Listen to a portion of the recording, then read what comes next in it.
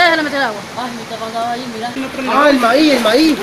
Derrumbes e inundaciones es el resultado de las fuertes lluvias que se prolongaron hasta la madrugada de hoy. El informe preliminar del Comupred de Masaya es de más de 100 viviendas, 140 familias y 700 personas afectadas. La municipalidad actualmente está preparando ya materiales para en caso de la vivienda que fue afectada, ¿verdad? apoyarla en el proceso de reconstrucción, asimismo algunos kits, colchonetas, ¿verdad? que son necesarios para que ellos puedan restablecerse. En el barrio Monimbó, el joven Gerardo Pavón de milagro cuenta cómo salió ileso, luego de que un muro de contención colapsara y afectara severamente el hogar de su familia. Todo el techo de la vivienda me cayó encima de mis piernas. Me hicieron radiografía y nada, gracias a Dios todo bien.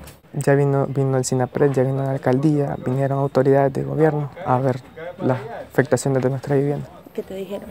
Eh, que o sea, que nos van a ayudar a, a, reconstruir de nuevo todo. El barrio 19 de julio, Reparto Faria, El Carmen, 17 de octubre, Santa Teresa, Zacuanjoche, Comunidad Santa Clara, Comarca Los Velázquez, Buenavista, entre otros, sufrieron abnegaciones. Se rebasó el camino y se empezó a meter el agua y botó la pared, botó, sacó las ropas, las camas y todo. Parecía un pulpo porque vea, tenemos este niño pequeñito, tenemos esta niña, este niño y el agua empezó a meterse. Cuando miramos que el agua entra para adentro, miramos que estas cosas se inunda por ahí. El muro perimetral del colegio Rafaela Herrera colapsó. Algunas calles también fueron afectadas y en el barrio Santa Rita un camión se hundió.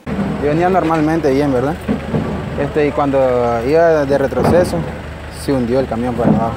Las autoridades reportan la caída de 145 milímetros de agua y recomiendan a los habitantes a no botar basura y a cuidar a los niños en situaciones como estas. Belkis Urrutia, lo que se vive.